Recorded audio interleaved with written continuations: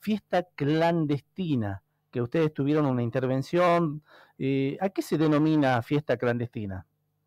Bueno, estamos denominando, como vos bien decís, este, a esta, categoría, digamos, por llamarlo de alguna manera, de, fiestas, que se realizan en locales que no están habilitados para tal fin y que no poseen los permisos eh, que tienen que ver con la seguridad, este, bueno, que brindan los, organismos estatales.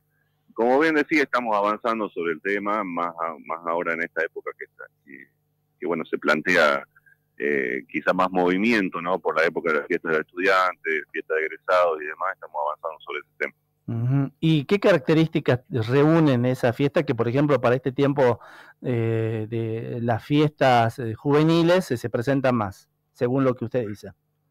Sí, sí, normalmente se realizan en casas de alquiler, de alquileres temporarios, este, por zonas aledañas al casco céntrico, normalmente no se realizan en el casco céntrico, y bueno, tienen la particularidad, como te decía, que no poseen los permisos, este, particularmente en la dirección nocturnidad y la dirección de habilitaciones, que aseguran la seguridad de cada uno de los predios. Estos generalmente los alquilan los, eh, los alumnos mismos o bien un padre de unos alumnos y bueno, se reúnen a, a, realizar sus agapes con consumo de bebidas alcohólicas y demás y normalmente eh, son menores lo que, lo que concurren en ese lugar, así que bueno, por eso estamos teniendo el cuidado que corresponde. ¿Y cuántos casos se han detectado hasta ahora? Bueno, nosotros tenemos, eh, hemos, hemos actuado en conjunto con la Policía de la provincia y estamos en esta tarea con la gran colaboración que, brinda el Departamento Contravencional y, la División de Infantería. Tenemos eh, varios locales identificados con los cuales vamos, vamos a ir actuando eh, paulatinamente, pero son varios, son arriba de 10 locales seguramente en la capital, eh, digamos acá cerca de, la capital jujeña nomás, del centro. Sí, sí, en la capital jujeña, que es el, fuero de actuación de la Dirección de Nocturnidad de la Municipalidad de la capital. Doctor, ¿qué sanciones corresponden una vez detectados estas fiestas clandestinas hacia los organizadores? Claro, bueno, desde el punto de vista que municipal, nosotros procedemos a la clausura como la, eh, bueno, las potestades que tenemos como organismo de contralor, y desde el punto de vista, por supuesto, con las sanciones correspondientes al dueño del local, se sanciona directamente al dueño del predio, de la casa o de la finca donde se realice, y desde el punto de vista contravencional otro tanto también. ¿Y, qué tipo de sanciones económicas? Eh, sanciones pecuniarias, sí, sí, son, sanciones pecuniarias que recaen sobre el dueño del local, sobre la persona que alquila. Mm, la clausura. ¿Cuál es el monto máximo mínimo? Honestamente no estoy al tanto de, de los montos, pero son montos elevados en atención a que la, normativa, este, bueno, apunta, digamos, a cesar, digamos, estas actividades, por lo cual son montos elevados los que se están aplicando tanto desde el punto de vista municipal como contravencional. El ciudadano común que, bueno, escucha ruidos, se da cuenta que se trata de un tipo de este evento, ¿tiene un número donde denunciar?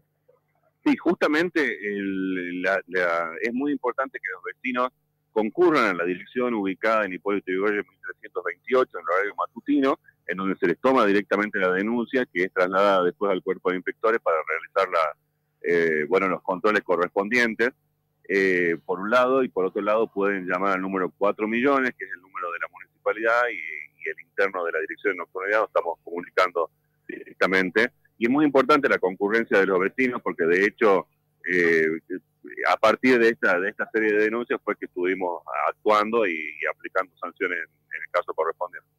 ¿Y, qué debe tener en cuenta el vecino? Porque quizás eh, por ahí hay una reunión de amistades en una casa o un cumpleaños, eh, reunión familiar, que una familia numerosa. ¿Qué debe tener en cuenta el vecino? Porque si no van a tener una lluvia de denuncias, ¿no? Considerando que todas pueden ser fiestas clandestinas. Sí, no, en, primer lugar es evidente lo que es un, cumpleaños, como decía, una reunión familiar o una fiesta clandestina o un, lugar donde se desarrolla una, fiesta con gran concurrencia de personas. De todas maneras, la normativa en cuanto a ruidos molestos se aplica de igual manera eh, para uno y otro caso y, bueno, eh, eh, sería también el hecho de la denuncia hace que nosotros analicemos la situación y hagamos un, control y una, inteligencia previa, si se quiere, como para, para determinar si es realmente una fiesta clandestina o un cumpleaños, como voy decir. Este, en el caso de detectarse menores y, y, la presencia de alcohol, ¿cómo se procede en eso? Nosotros estamos trabajando con el juzgado de menores. Eh, se da la particularidad de cuando eh, se desarrollan actividades en esta fiesta y nosotros como organismo de control concurrimos al lugar y se clausura y cesa la actividad, el tema es que hay muchos menores en la calle al mismo tiempo, o sea, por ahí hay 50 menores que salen de la fiesta probablemente alcoholizados y no se lo puede dejar librado de la sala, me parece una irresponsabilidad, por lo cual estamos trabajando con el juzgado de menores al que se le da participación para que ellos dispongan eh, cuáles son las medidas que se va a tomar, ¿no? Mm. Doctor, acá una pregunta de un oyente. Para los negocios que venden bebidas alcohólicas después de las 0 y hasta las 4 de la mañana, ¿dónde se denuncia? En el mismo lugar, en Hipólito Yrigoyen 1328. En, en ese sentido hemos estado trabajando muy fuerte también desde que, en realidad, desde que, desde que la dirección empezó sus funciones hace un año. Hemos realizado más de 35, 40 de clausura de locales eh, que expenden medidas alcohólicas y ahí se le da también participación a la policía de la provincia, eh, como para que tome cargo del asunto también. Me parece un tema muy delicado eso. Eh, aprovecho la ocasión, doctor, para también consultarle en este momento económico que se vive en el país como director de nocturnidad, que también tiene la, la responsabilidad de controlar los locales nocturnos que están habilitados. ¿Qué panorama se nota en la vida nocturna en cuanto al movimiento? ¿Asiste la misma cantidad de gente hoy en día? ¿Ha mermado, ha disminuido por la cuestión económica? Y mm, la verdad que la afluencia sigue siendo similar a la que a la que observando anteriormente. Obviamente los locales comerciales también tienen sus modalidades como para atraer al público con promociones y demás. Pero lo cierto es que el esparcimiento nocturno no, no, no cesa su actividad y no se, no se nota una disminución. Sí se ha notado en, esto, en estos meses por, por una lógica características climáticas, la gente entre los meses de mayo, agosto, más o menos, concurre menos a, a los locales eh, de esparcimiento no, pero lo cierto es que esta época que viene la fiesta de los estudiantes y demás, este, se incrementa la actividad. Eh, doctor, eh, muchas gracias por su tiempo. Lo último, cierto, me estaba acordando de algo. ¿Está permitido o han dado habilitaciones para eh, bailes de matiné en este tiempo de fiesta?